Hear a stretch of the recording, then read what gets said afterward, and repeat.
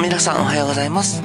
テラブーチャンネルのテラブーです。今日はこちら N1RS のマニュアルタイプの、えー、車紹介をしていきたいと思います。どうぞ最後までご覧ください。はいというわけでまずは外装からちょっと見ていきたいと思います。N1RS ですね。えー、いつでしたかね。去年の多分オデッセイ同じぐらいの時期かな。去年のオデッセイとほぼ同時期に、えー、フルモデルチェンジをしたホンダ N1 になります。ちょっとぐるっと一緒に見てみましょうかね。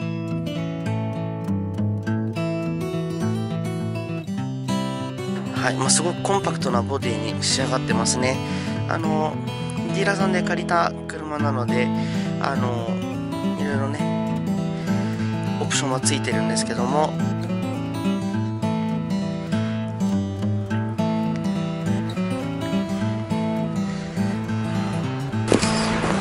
本当にやっぱコンパクトでいい感じのサイズ感ですよね。はい。でこちらが後ろですね。はい。こんな感じですね。このツートン塗装っていうのは RS のあの限定になりますね。はい。ではですね、えー、こちらの N1 のあのスペックですね。スペックご紹介します、えー、前高が、えー、1545mm 立中音問題なく入る高さですね、えー、そして前幅が 1475mm やっぱり軽ですからね。そういうコンパクトに仕上がってます。そして、え、全長が 3395mm というこれはマニュアルなので、レギュラーガソリンでガソリンタンクが27リットル入ります、えー、馬力が64 64馬力で、えー、トルクが、えー、104ニュートンということで、まあ、結構力強いね、走りを見せてくれるのかなというふうに思います。では、ちょっとライトの方を点灯させてみたいと思います。はい、それでは、ライトの方を見ていきたいと思います。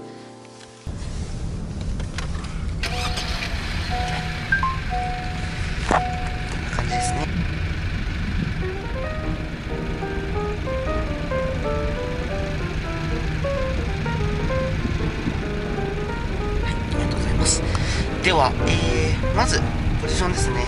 今オートになっております。ではここからちょっと変えていきたいと思います。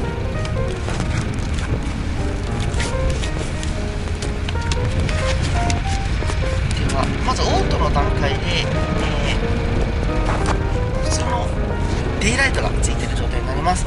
でこれから違和感になるとこうですね。こうなります。はい。で今フォグがついてる状態なんですけどもフォグ消すとこんな感じです。はい。ちょっといろいろいじってみます。次にこれですね。これがスモールですね。スモールがついた状態、フォグ切って全部切るとこんな感じです。はい。また、えー、通常の状態に戻してあげて下ですね。こんな感じですね。はい。とこうですね。はい。あとはハザードですね。ハザードスイッチがこちらのナビの下にありますので押してみます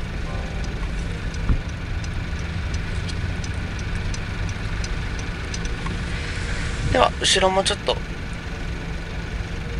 見ていきたいと思います。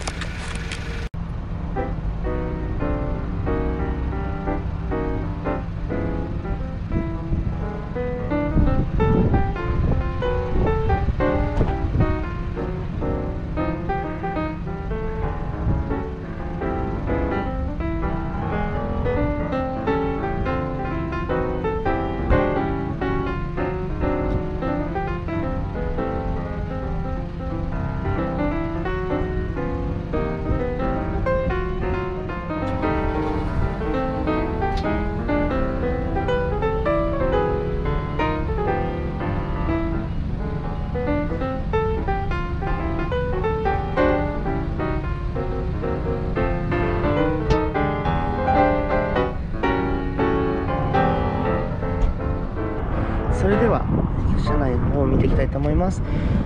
まずこの音ですね。まあ、軽なので、まあ、そこまでこう重厚感がある感じってわけではなさそうですね。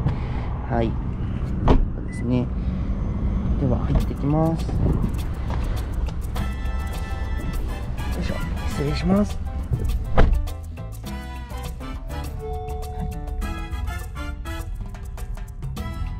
ではエンジンを始動させてみたいと思います、まあ、マニュアルなんでねブレーキを踏んでクラッチ踏んでではエンジンスタートこちらですね。こちらにありますので押してみます。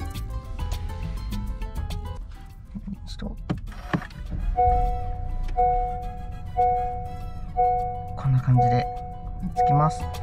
K なんでまあ140キロまでのメーターとあとはそうですね。7000回転8000回転のここまで上がります。な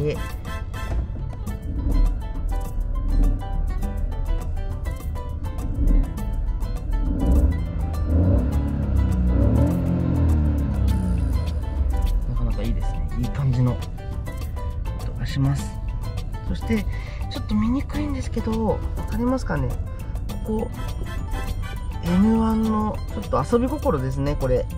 すごくおしゃれなデザインになっております。してナビですね。ナビはこちらですね。8インチだったかな？の、えー、ホンダギャザーズのナビがついております、はい、まあまああのー、そんなにね大きくないんですけどまあ使い勝手が悪いっていうことでは一切ないですね。はい。そしてこの下にエアコンですね。エアコンの操作パネルがあります。でびっくりなのは K なんですけど、まあ、プラズマ、ね、クラスターは当然ついてるのとシートヒーターが運転席助手席しかも2段階ずつですねついてるんですよ。これはすごく贅沢だなというふうに思いました。そしてここが E コンのスイッチとあとはこれ RS なのでこのオレンジのステッチというかこの部分の色がですねオレンジのこのアクセントカラーが至るところに入っております。このそうですね。このハンドルのステッチもこのオレンジが使われてるのですごく僕オレンジすごい好きなのでこれは個人的にすごくいいなという感じに思いました。でこちらですね。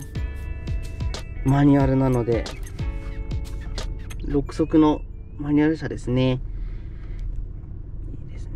ここの撮影するまでここまで走ってきたんですけど久々のちょっとマニュアルの運転でちょっと疲れたっていうのが正直なとこなんですけどもまあまあまあまあ運転を楽しめたかなというふうに思いましたはいで助手席側ですねこちらこのようなこれ木目ではないんですけど一応そうですねちょっとメタル調って言ったらいいかなの塗装にタル調の塗装になっております。そしてこちらですね。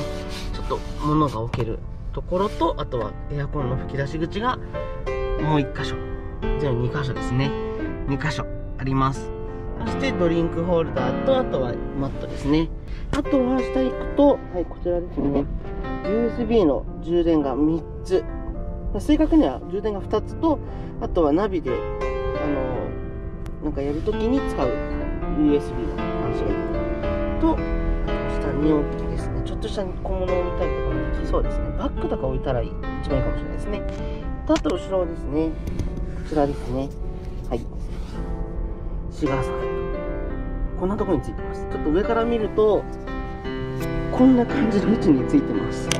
はい。ね。すごいちょっとここまでいったらわかるかな。はい。ここについてます。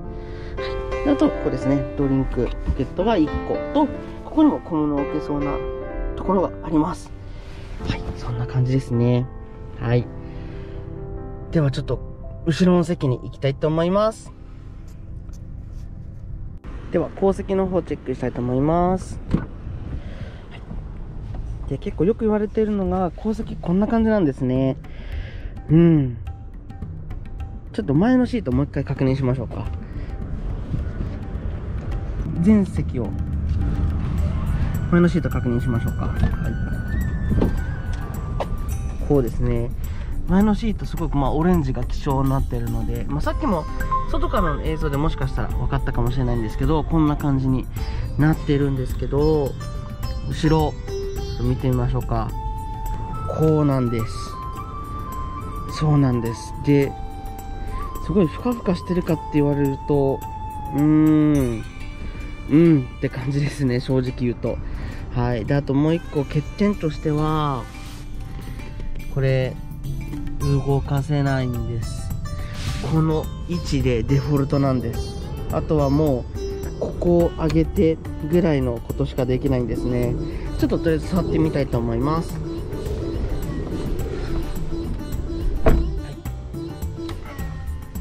まあ、僕ね、あの今、この前の運転席は僕のシートピッチに合わせてるので、まあやっぱ計4人乗りなので、まあそこまで広いかって言われるとそんなことはないかなっていうふうに思います。で、ちょっとうまく取れるかわかんないんですけども、頭ですね、ギリギリもう、ギリギリじゃないですね、もうアウトですね。1個ギリギリ入るか、まあ、こう後ろまでつけちゃうと、もはや、当たっちゃってますね。はい。もう当たってます。なので、まあ、空間的にすごくいい空間かって言われると、ちょっと微妙かなっていう感じですね。はい。シートアレンジ見ていきたいと思います。まず1個目はまあ、よく皆さん使ってます。こちらですね。こちらを引いてあげると、スルンとなります。まあ別のカメラで今、後ろからの映像も撮ってますので、そちらも合わせてご覧ください。で、ちょっと反対側もやっていきましょうか。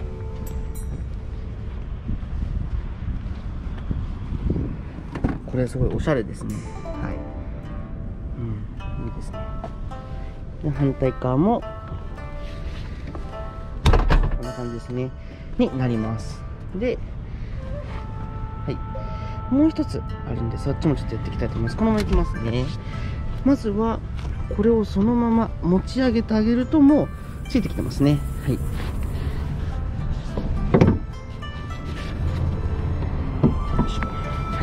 な感じですね。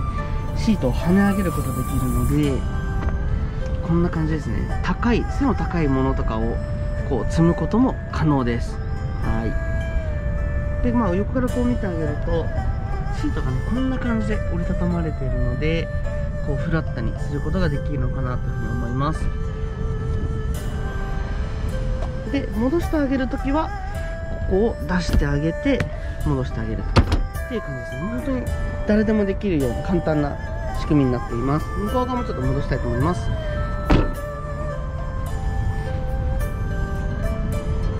ちらですね、は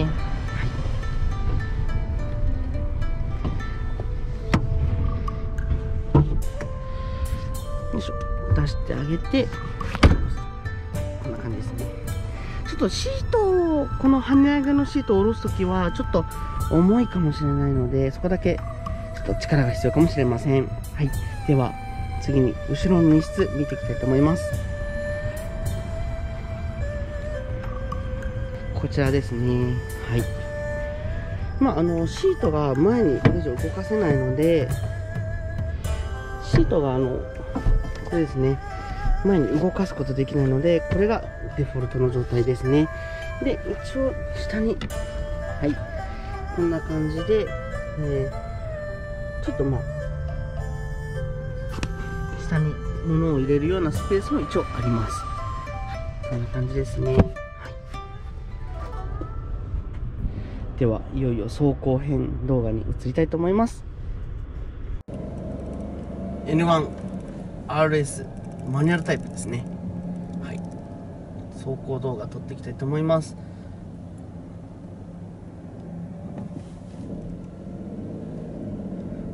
普段からマニュアル運転してないのですごく不安なんですけどまあまあまあ大丈夫かなというふうに思っております。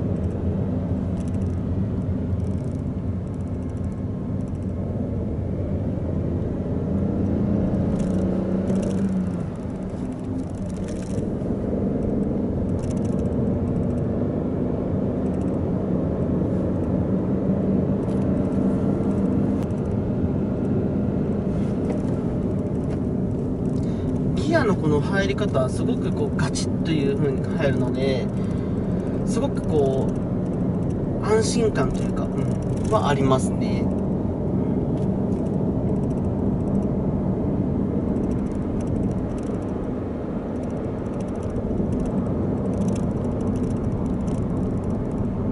あと感じるのはすごくこう静かだなっていうふうには思いますね。ちょっとギア下げてみましょうか。う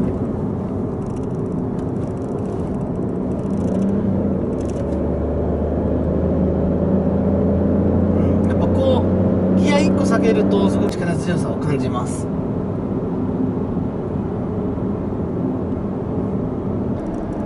ただ今こうやって今高速に入れて走ってるんですけどすごく静かですねやっぱり、うん、まあもともとこのちょっとトンネルの中が静かに多分設計されてるのかなわかんないですけどあんまりこうわーって感じは全然しないですね。うん。とてもいいと思います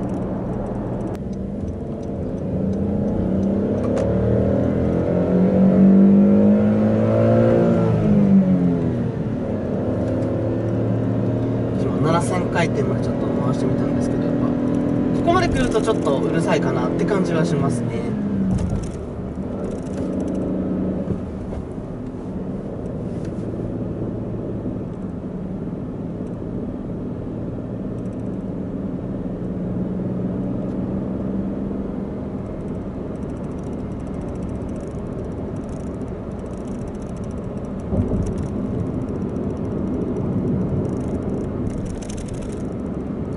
というわけで今回は、えー、ホンダ N1RS マニュアルタイプですね。